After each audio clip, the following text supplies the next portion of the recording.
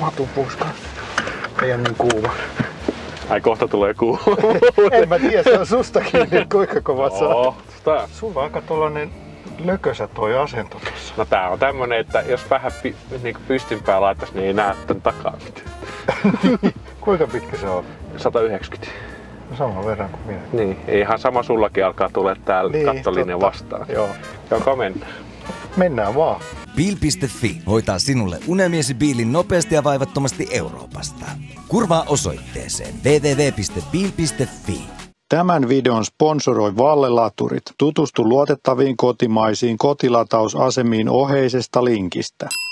Meppä sivulle pohjantahti.fi kautta Keski-Suomi. Me Nannan kanssa palvellaan mielellämme vakuutusasioissa ihan sama missä päin Suomeen sä asustelet. Bö, nyt ollaankin täällä Lahdessa ja Kempoverin pihassa ja nyt me ollaan päästy Juhana Enqvistin kyytiin, mutta sä voisit nyt ensin vähän kertoa, että kuka sä nyt oikeastaan oot? Ai minä? Niin sä oot ollut kyllä ennenkin mun videolla, mutta Kyllä. Varmaan täällä on aika paljon uusia katsojia. Joo. Kerrotaas vähän. Joo, tosiaan nimi on Juhana Enqvist ja siviilissä sähköauto äh, intoilija ja vuodesta ja omistaja vuodesta 2017, kun ensimmäisen Tesla, Joo. Teslan hommasin, mutta ihan sitten työn puolesta ja ehkä tässä on myös niinku linkki tässä intoilussa ja työssä, niin työn puolesta ollut Kempoverissa, Kempoverilla tavalla tai toisella mukana ihan, ihan alusta lähtien. Eli montas vuotta sä oot ollut? Äh, kai virallisestihan mä oon ollut vasta vähän yli vuoden niin kuin täyspäiväisesti Kempoverilla, mutta tota, milloin tämä Kempoveri alkoi tätä kehittävääkään laturia, ei enää muista, olisiko siitä 3-4 vuotta jotain sitä Niin. luokkaa. Niin siitä lähtien ollut mukana, mukana tota, Eli olit sä ensin Kempillä vai? Mä olin Kempi, Kempi? Groupilla jo, olin, mä olin tota, digitalisaatiosta vastaavana johtajana ja pilvipalvelut Joo, oli joo. siellä mulla vastuulla, niin siinä vaiheessa kun ruvettiin miettimään tätä, tätä Joo. laturipuolta ja miten se pilvi toimii ja miten se käyttöliittymä siinä laturissa toimii, niin ne, Joo. ne, ne, oli sitten mun vastuulla. Sitten Olit lähteä siellä heti käsi pystyssä, kun kysyttiin, että kuka haluaa lähteä Kempoverille? No, tota, Vai, vai pakotettiinko sut? ihan väkisin pakotettiin. Ei vaan. Kyllähän mä itsekin niin osan näistä tota, ominaisuuksista ja ja asioista niin, tota, tai vähän niin kuin pussasin siinä Niin, niin, firman niin. Niin muodostamisvaiheessa, että tämmöinen me tarvitaan, Joo, tänne, joo. tämmöisiä asioita, niin siinä mielessä on, oli ihan vaikuttamassakin siihen, Joo. että näitä asioita on olemassa. No sitten varmaan nyt on jo joku huomannutkin, että tässä autossa on vähän hassu ratti, niin kerros vähän, että mikä tämä auto on. No tää on tota, kauan ja hartaasti odotettu uusi Palladium-sukupolven Tesla Model S ja tämä tehokkaampi versio eli Plaid. Alun perinhän mä olin tilannut sen long range-version silloin, silloin 2021, kun niitä silloin, se oli siellä tammikuun lopulla 2021, kun se julkistettiin. Joo. Ja silloin samana päivänä pistin tilauksen sisään. Myöskin sitten sovin ystäväni kanssa siitä, että myyn sitten elokuussa 2001, kun se piti tulla, niin myin sen vanhan Model S:ni hänelle ja Niin. pidin lupakseni, mutta ei sitten, sitten ajeltiin jollain väliaikaisautolla siinä välissä. Mutta sitten oli tosiaan kuulin, että on mahdollisuus siihen upgradeata siihen alkuperäiseen hintaan, mitä silloin 21 oli, niin Joo. vaihtaa siitä long range Plaidin. Ajattelin, että tämä on nyt tämmöinen tilaisuus, Niin, että niin. hirveän monta kertaa elämässä tuu, Niin. tuu, että saa tämmöisen auton, joka on myöskin nimetty yhden tutun innoittavana nimellä Huvipuisto. Niin tämmöisen huvipuiston hankintaan, niin tota, Niin tää on varmaan halvin pieni raha, millä huvipuiston voi hankkia Kyllä. itselleen. Kato, pelit on kaikki ja sitten tota, G-voimia riittää ja, ja tota, kaikkea muutakin jännitystä välillä. Kyllä, kyllä. Niin, Eli tää on sun kolmas sähköauto vai? Joo, tai tota, toinen oma, mutta sitten mulla oli hetken aikaa silloin 21 elokuussa, kun myin sen äh, ka- 75 S, Joo. S pois, niin tota, ajoin ekaksi e-tronilla joku muutaman kuukauden, mutta ei ollut yhtään mun auto. Niin. Ja sitten se oli vielä aika karvallakin varusteisia, että ei ollut edes sähkösäätöisiä penkkejä eikä Niin, niin. mitään tämmöistä, niin vaihoin siihen. Oli tota, yksi koeajo-auto tuolla leasingyhtiöllä, mitä me, me firma käyttää, niin EV6. Joo. Niitä oli yksi siellä varastossa, niin heti nappasin sen, että ton mä haluan kokea ja Joo. nähdä, että millainen auto se on. No millainen kokemus se oli se EV6? Sehän oli oikeasti niin kuin, mulle todella positiivinen yllätys, että mulla on ollut vähän semmoinen mielikuva yleensä niin polttisaikakaudelta näistä korealaisista, Niin. että ne on vähän semmosia, ei ne semmosia ajajan autoja missään Niin. tapauksessa ole ja, ja tota, muutenkin semmoisen, että se oli tosi positiivinen yllätys ja perheen mielestä kun ajettiin tuolla kesällä sillä ympäri Pohjoismaita, Norjaa takas 4500 kilometriä, niin oikein letkeä Niin. matka-autoja miellyttävää mukana. Ainoa mikä puuttu tietysti semmoinen niin oikeata jalkaa suoristaa, niin se mitä siinä tapahtuu, niin, Niin, niin. ehkä se oli jätti vähän niin toivomisen varaa. Mutta Joo, itse asiassa mähän näin ekan kerran sut tässä autossa siellä FLTP-kulutustestissä. Joo. Ja mä olin suoraan sanoen yllättynyt, että sulla on plädi. Koska Joo. mä en oo ajatellut sua koskaan niinku sellaisena intohimoisena automiehenä, mutta mä oon ollut ihan väärässä nyt. Kyllä se on mun tämmönen tota, salattu Salattu. elämä. Aina on ollut nyt tota, itse asiassa yhden vanhan tuttavakaan, kun tuli juteltua aiheesta, niin just sanoin, että sä oot aina ollut tämmönen, että auto pitää olla Niin, niinku, niin, okei. Okay. auto pitää olla hyvä ja viimeisen Joo. päälle. Että tässä on taas uutta tekniikkaa ja Niin. vähän voimaa ja kaikkea semmoista, Kyllä. vaikka Tesla onkin. No mitä sä nyt pitäisit tämän auton parhaana puolena?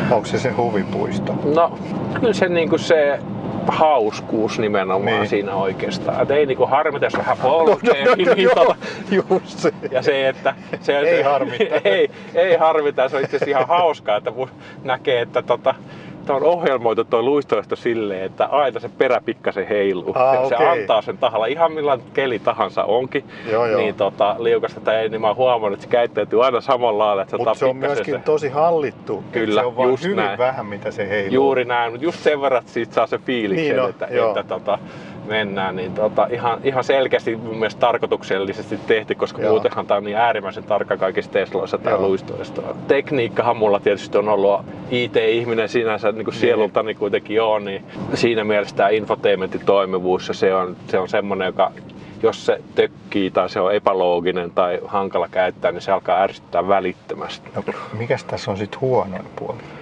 Mikähän olisi huonoita? no, tässä kohtaa, kun ratti on tässä niin yrität sitä vilkkua löytää, että mistä sitä käännetään, niin se on tietysti huono, mutta kyllä mä tästä ratista olen oppinut tykkäämään, tai Joo. se, se tuntui suht luontevalta jo heti niin kuin ekalla, ekalla kilometreillä, mutta tota, jotenkin se, kun itse en koskaan, toisin kuin mitä vaikka, vaikka tuo Janne sähköautomiehistä sa- sanoo, että hän itse tykkää pitää tästä ylhäältä kiinni, Mm. niin mä en koskaan ole autoista pitä, autoissa pitänyt ratista siitä Niin. ylhäältä kiinni, niin, vaan aina täältä alhaalta, niin se on ihan luontevaa tai oikeastaan paremmaskin asennossa tämä Niin. käsi täällä sitten roikkumassa. Sä tottunut noihin vilkkuihin sitten, että kun sulla on ratti väärinpäin, niin löydät sä sen vilkun? Joo, tai yleensä esimerkiksi liikenneympyröissä tuntunut löytyvän semmoinen takti- taktiikka, että kun se poistuminen ympyrästähän se on se vaikea asia, että sun Niin. pitää väärässä asennossa pistää vilkkua, niin silleen tulee käännetty yhdellä kädellä niin tästä painamalla Joo. sitä rattia, että se menee tonne ja sitten se peukalo on koko ajan siinä vilkun kohdalla. Mut jotkut voisivat olla sitä mieltä, että onko se maailman turvallisin tapa Niin. ajaa, että et, et kyllä siellä, oikeastihan ne on vähän semmoisia workaroundeja siitä, Niin. että itse vähän niin näen sen, että tämä on ehkä Teslan niin firman imagon kannalta tämmöinen, että On, on, rattia ehdottomasti. häivytetään koko ajan ja Joo. se merkitystä vähennetään ja se autopilotti ja itsestäänajavuutta yritetään korostaa tällä, mutta et ei se niin kuin, silleen funktionaalisesti mitenkään erityisesti paljon parempi ole kuin Niin, se niin. päinvastoin, mutta yllättävän toi mä pelkäsin paljon pahempaa sitä, Niin. kun kattonut kaikkia je- jenkki YouTube-videoita, missä ne arpoa sen kanssa ihan hirveästi Niin. sen ratin kanssa, niin ei ollut niin paha kuin pelkäsin. Ol- Oliko jotain muita vähän huonoja puolia? Semmoista tavallista Amerikassa rakennettua Teslaa, että aina löytyy luovutuksessakin Niin, jotain niin. huomautettavaa ja sitten käydään, käydään vähän korjauttamassa pikkuasioita, mutta, mutta se ehkä oli jo odotettavissa sille oma, kun on Niin. Tesla-kokemus, mutta jollekin uudelle autoilijalle itsekin tuli aikoinaan Toyota-konsernin Lexuksesta tulin vaihoin Teslaan, niin oli Joo. vähän semmoinen niin vi, laatu, laatujen Niin, viimeistely ja tä, tämmöinen niin oli vähän eri luokkaa tämmöisessä amerikkalaisessa kuin Niin. japanilaisessa maailmassa. Se on oikeastaan niin kuin vähän sellainen odotusarvo. Se on, joo. että Se ei ehkä ole ihan niin samaa tasoa, mutta Ja- riittävää. Ja positiivisesti vielä ainakin yllättänyt, että ei ole ilmalämpöpumppuongelmia ollut. Ja, Niin, niin. ja myöskin niin kuin näitä haamujarrutuksia on huomattavasti vähemmän kuin siinä Okei. aikaisemmassa Teslassa, kun se tutka Joo. on tästä pois. Et se Vision on toiminut tosi hyvin ja toisin kuin kolmosessa ja yssä niitä ei pakota pitkiä tai pyykkiöitä päälle Joo. silloin kun ajaa tota, Joo, se on jännä juttu, miksei sitä kolmosessa ja yys voida tehdä samalla niin, lailla. se vaan sitten alkaa ilmoittelemaan tuolla, että, että näkyvyys on huonontunut, niin rajoitetaan maksiminopeutta. Joo. Ja sitten jossain vaiheessa se sitten sanoo, että nyt pistää pois, että hän ei näe tarpeeksi paljon. Niin mun Joo. mielestä se on paljon parempi tapa kuin se, että Niin. väkisin hinkataan sitä, Niin, niin. sitä tota, pyyhkiä siellä tuulilasissa. Minkälaista sulla tämä ajoprofiili on? Että asut sä täällä Lahdessa vai? Ei, hyvin paljon itse asiassa, mitähän täällä on jo yli 6000 kilometriä ajettu tässä, eli aika paljon tulee Helsingistä, asun he, tuolla luoteis Helsingissä käytännössä. Joo. Siellä ihan Petokujan naapurissa, kun Okei. pääsee sinne Helsingin puolelle. Kerran pari viikossa tulee yleensä käyty täällä Lahdessa, siitä tulee Niin. se jo se 400 kilometriä viikkoa ja, Niin. ja tota, siinä sitten tulee käytetty paljon autopilottia, että tota, suhaa sitä moottoritietä, mutta sitten paljon ympäri pääkaupunkiseutua ja, ja, ja ajettua, että paljon on tuttuja ja sukulaisia on sitten osa Espoossa, osa Vantaalla ja osa Helsingissä ja siitäkin yllättävän paljon kilometrejä tulee, kun käyt, käyt pääkaupunkiseudun Niin. päästä päähän usein. Ja, eli kaupunkia, ihan semmoista niinku keskustakaupunkia ei tule hirveästi Helsingissä, mutta, mutta kehäteitä ja, ja tota, pikkukatuja sitten siellä. No entäs niitä Lapin matkoja peräkärryn kanssa? No, no peräkärryä en ole itse asiassa koskaan elämässäni ajanut Okei. vielä tähän Onko mennessä. koukku tässä? Ei ole tässä koukku, Joo. tähän saisi koukun, sais. mutta joo.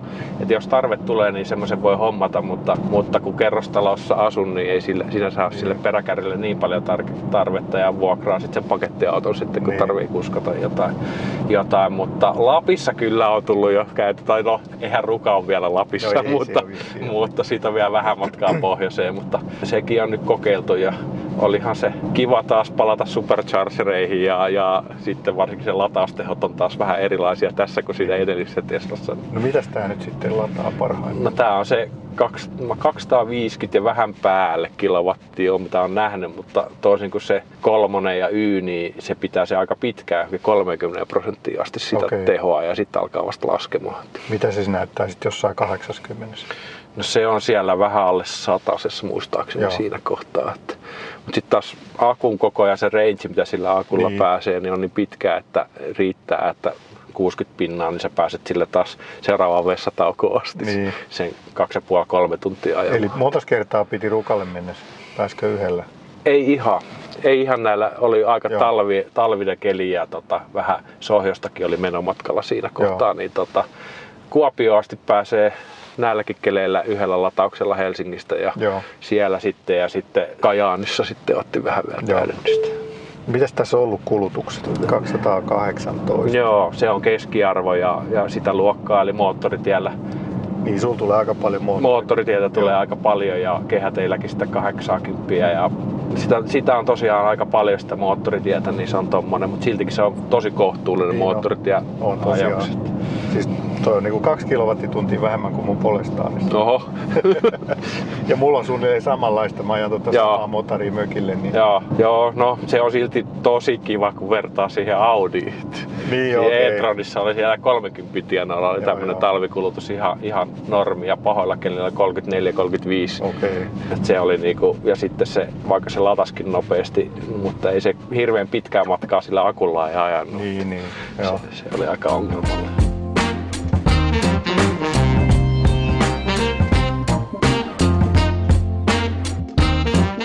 No nyt kun me, meillä on tällainen mainio tilaisuus, niin me voitaisiin varmaan vähän puhua myös nyt sit Kempoverin uutuuksista, koska me nyt kuitenkin niitä No aika niin. paljon tässä käytetään, niin mitä siellä on nyt uutta? Mitäs siellä nyt on uutta? Vähän vähän me ollaan näistä juteltukin. jos, jos sä voit kertoa Mm. jotain, mitä muut ei vielä tiedä, niin se on aina parempi. Totta kai se on. mutta tota, to, tosiaan siitä me ollaan puhuttu siitä nestejäähdytetystä varmaan aikaisemminkin. Et nyt, nyt no kerrotaan nyt se, koska se taisi olla siellä tupareissa, niin siitä Joo. on jo aikaa. Kyllä. Eli nythän se, se on jo laajasti tota myynnissä meillä se nestejäähdytettyllä kaapelilla va- varustettu satelliitti, eli Joo. samanlainen to- konstruktio kuin aikaisemmin, mutta siinä on rinnalla sitten se toinen tolppa kiinni siinä ensimmäisessä tolpassa satelliitissa, jossa on sitten se käytännössä se vesikiertopumppu ja syylläri ja puhallin Joo. ja näin poispäin, joka sitten jäähdyttää. Ja tiedetään vaikka Tesla Superchargerin nämä V3, että niissä on myös neste jäähdytetty letku, että Okei. se ei ylikuumene Joo. että siihen saa sitten niitä isompia tehoja. Ja sehän meillä on tarkoitettu enimmäkseen sitten tuonne raskaan liikenteen puolelle. Okei, Ja eli pystyy- me kuluttajat ei niitä nähdä vai? Joo, todennäköisesti ei. Et toki jos joku haluaa pistää, pistää niin. sitten niin. niinku investoida, se on jonkun verran kalliimpi kuitenkin niinku satelliitti ja ainoastaan melkein Teslat on ainoat, jotka siitä hyötyy. Okei. Niin Kuitenkin siinä se idea on se, että se pystyy antaa sitä täyttä tehoa tuntitolkulla. Yleensä sitten se ilmajäähdytteiset kaapelit on sitten semmoisia, että ne antaa piikkitehoa hetken aikaa ja sitten ne alkaa lämpenee. Mutta siis ne, onko se 400 vai 800 volttisia vai molempia? Molempia joo. Joo. Et se, se Et paljon päästääkö sillä isompiin virtoihin vai vaan pidempään? pidempään. Et sama no, noilla meidän latureilla on 500 ampeeriahan on se Joo. maksimi, mitä niillä saa. Niin sehän on noin 10 minuuttia, mitä se pystyy sitä 500 ampeeria Okei, eli se rajoitus lämpöä. tulee enemmän siitä Kyllä, kaapelista. kyllä, just Joo. näin. Ja kaapelit, etenkin ne pinnit siinä, mitkä sä Joo. tunget sinne Okei. autoon, niin ne, se kosketuspinta siinä auton ja Joo, sen joo. kaapelin välillä, niin se ylikuumenee siitä, niin niitä jäähdytetään voimakkaasti, Okei. ettei se sitten rupea rajoittamaan sitä tehoa myöhemmin. No onko se raskaan kaluston liitin jo niinku, onko se valmis jo se standardia? Kyllähän sitä hiotaan edelleenkin, mutta kyllähän se vauhti on jo kovaa maailmalla siitä, että Niin. niin. on, on olemassa ihan selkeästi raskas kalusto on siirtymässä siihen megawatt charging systeemiin ja kaikilla on, kaikilla on siitä jo suunnitelmia, että miten sen kanssa edetään.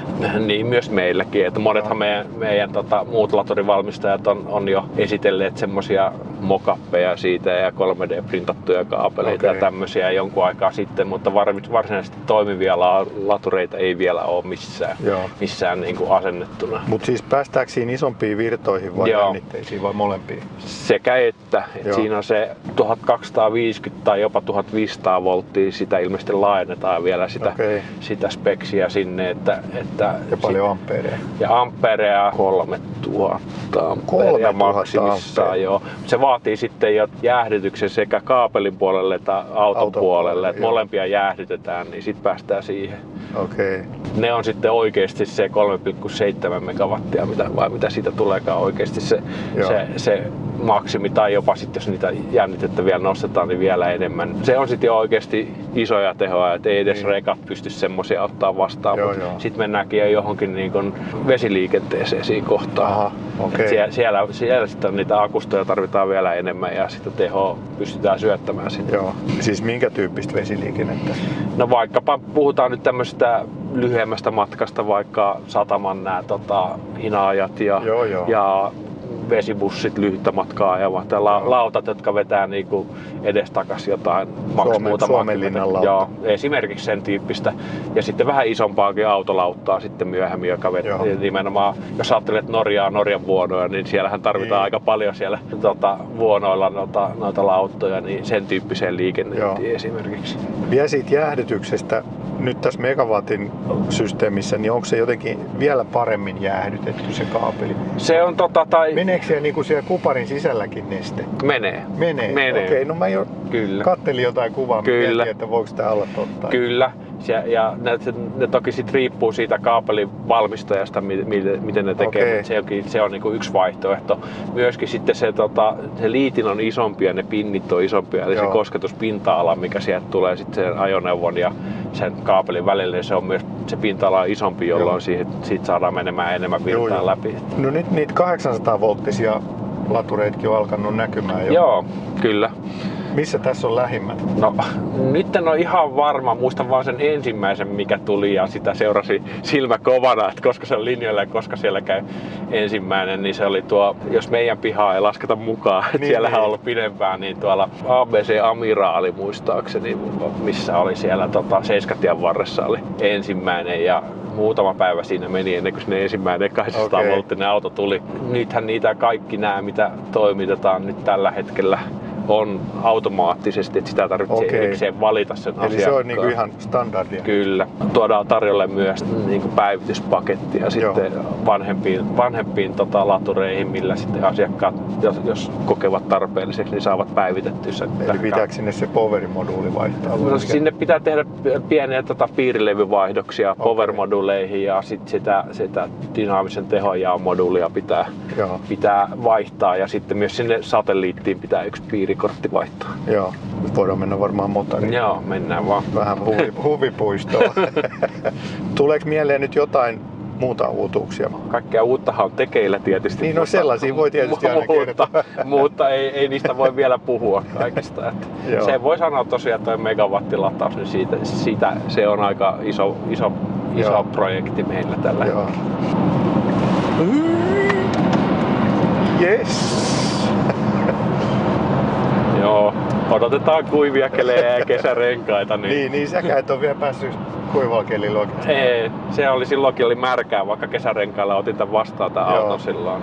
No mitäs Kempoverille muuten kuuluu nyt? Aika lujaa menee. No niin, no se on jo huomattu. Kyllä. että- Ja sä, sullakin on tämmönen insideri siellä, siellä Joo, tota... mä oon tehnyt sellaisen oman agentin. Ky- kyllä. Mutta valitettavasti se ei kyllä kerro mulle mitään. Vi, viisas mies, sanotaan näin. Kyllä on niinku se, edelleen se kasvuvauhti mo- monien kollegojen kanssa puhuttu, että vuosi Kempoverilla töissä tuntuu kahdelta kolmelta vuodelta muussa firmassa. Kaikki Niin, menee niin. niin kovaa vauhtia, miten Niin. organisaatio kasvaa ja prosesseja tulee ja Niin. ai meillä on nykyään tämmönenkin yksikkö täällä ja, Niin. ja, ja saattaa yllättyä kaikesta. Ja itsekin kävin tuossa yhdessä, meillä on kerran kuussa sitten, meillä on semmoinen siihenkin rakennettu prosessi ja systeemit, että miten saadaan nämä uudet mahdollisimman niin kuin nopeasti sitten koulutettua. Joo. Ja ei ole semmoista perinteistä, että esimies sitten vähän kertoo juttuja, vaan siellä on keskitetty tämä niin kuin tämmöinen kolmen päivän onboarding, jossa on, jossa on ohjelma, millä saadaan nämä perusasiat kaikille ja sitten pidetään joka kuukausi ja, ja oli viimeksi, kun itse oli vetämässä yhtä esitystä, niin 22 ihmistä Okei.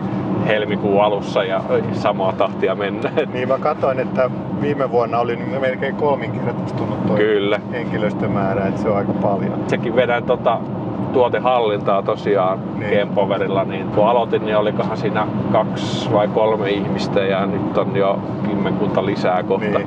kohta siinä tiimissä. Joo. Ja nyt sitten oli uutinen, että Amerikkaan tulee seuraava tehdas. Joo, paikka on valittu ja, ja, ja tota, se on julkistettu ja myöskin Joo. kyllä tämän vuoden aikana sieltä rupeaa jo suoltamaan, Niin. suoltamaan tavaraa ulos. Ja miten se niin kuin kapasiteetiltään se Amerikan tehdas, onko se samankokoinen kuin Lahden tehdas vai? Sitä en osaa oikeastaan, mä en tarkkaan itsekään tiedä okay. sitä, että miten iso on, mutta kyllähän siellä varaudutaan. Amerikka on iso maa, Se sanotaan iso nyt maa, näin. Ja tota, nämä uusimmat tukiaispolitiikat nimenomaan tähtää siihen sähköistämiseen, niin siellä Joo. sitä verkostoon saa rahasummia sitten valtiolta, Aivan. valtiolta, liittovaltiolta siellä, mutta tota, siinähän ehtona on, että se pitää olla tietyn, tietyn prosentin, prosenttiosuus olla Amerikassa valmistettu. Joo. Eli senkin takia me valmistetaan ne siellä sitten Joo. paikallisesti. Eli Suomesta tai Euroopasta ei mene paljon osia sinne. Kyllä jotain komponentteja tulee menemään ja varmastikin tehomoduulit tulee menemään jonkun aikaa vielä okay. täältä ja näin poispäin. Semmoiset niin kuin ra- helpot rakenteet, niin kuin kaapit sun muut, Niin, niin, niitä, aivan. niitä välttämättä peltiä ja peltiä, peltirunkoa ja tolppia kannata täältä asti raahata Joo, sinne, niin tota, niitä viedään, mutta totta kai koko ajan sitä katso, tullaan katsomaan sitten eteenpäin, että mitä siellä, Niin, mitä siellä sitten tehdään, tehdään jatkossa. niin. Mihin sitten seuraava tehdas tulee? No eikö se ollut, jo sekin uutisoitu, että, että tota, katsotaan Euroopassa sitten lisää tilaa, lisää tilaa, että se voi olla Suomessa, se voi olla Lahdessa ton nykyisen tehtaan laajennus tai sitten joku muu paikka. Joo, Semmoistahan meillä on, ollaan myöskin uutisoitu. joo. Että toki alkaa käydä jo pieneksi. Onhan se joko, Niin, niin. milloin sä olitkaan siellä avajaisissa. vuotta ollut, että- Niinpä. Taisi toukokuussa alkaa siellä tota, tuotanto, niin johan se on vanha. Niin, kyllä. Ja sitten, sitten tosiaan sitä, sitähän kanssa sitten otetaan lisää siitä, se meidän entinen uusi tehdas siinä, se, se Macronin talo, niin siitäkin, Joo. tota, sitäkin laajennetaan sitten Okei. ja otetaan siitäkin lisää tilaa Joo. käyttöön. Niin muuten hei tästä autosta vielä piti, niin tässä on ilmeisesti joku Tässä on, kato, PPF. miten tätä ajetaan. Näin. Joo, näköjään. Joo, Yhden sormen auto. kyllä. Niin, tässä on Niin. joku teippaus.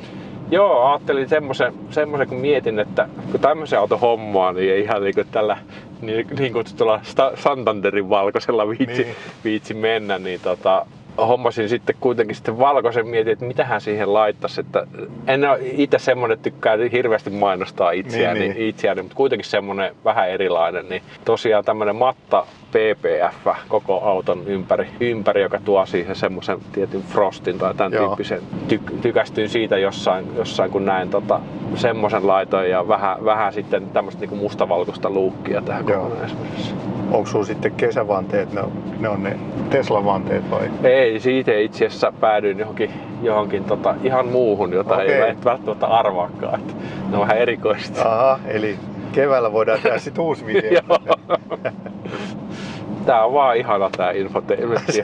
Ai sä rakastat infotainmenttia. Joo, eikä vaan se, että pelit ja vehkeet, eihän mä niitä hirveän Niin. usein käytä siellä. Että tästä, että jos sä pistät tästä ja pistät Rovaniemelle Rovaniemi ja Rovaniemi, niin aika nopeasti se sen laskee Joo. sen reitin siitä. Ei tarvi odottaa ja Niin. varmistella viiteen kertaa, että oletko ihan varma, että Joo, haluaisit joo. just tonne Rovaniemelle ja näin Joo, se on jotenkin käsittämätöntä, minkä takia muut merkit ei ole kopioinut tätä. Niinpä. Et jos sä oot jo kirjoittanut Rovaniemi, niin miksi se pitää vielä vahvis, vahvistaa, Niin. että haluatko varmasti Rovaniemi? Juuri Jos niin. sä oot jo kirjoittanut yhdeksän merkkiä siinä. Kyllä. Ehkä se on jotenkin menneisyyden peroja silloin, kun se laskenta oli kallista ja vaikeaa Niin, ja joo, hidasta, että sä et joudu turhaan odottamaan sitä 20 sekuntia, kun se Niin. laskee sitä, mutta se on sitten jäänyt elämään sit Niin. sinne. Monesti niin kun valmistuksessa sit kun tehdään designeja ja sitten ruvetaan optimoimaan kustannuksia, Niin. niin. voitaisiin vähän halvemmalla prosessorilla pärjätä ja Niin. kaikesta fiilataan vähän pois, niin Tesla on il- iloisesti pitää tätä niin tärkeänä, että pistää pikemminkin yli Kyllä. mitotettuja prosessoreja, prosessoreja monta kertaa. All right, no mutta tää oli mukava ajelu tällä kertaa taas ja toivotaan, että sulla pysyy kortti tallessa tällä. Eiköhän se pysy. Onko se ollut näin. läheltä piti tilanteita? Ei oo onneksi ollut. Hyvä. Kiitos tästä. Kiitos. Käykäähän tilaamassa kanava, jos ette vielä tilannut ja käykää tykkäämässä ja kommentoimassa ja me palataan seuraavaan videolla. Bye bye.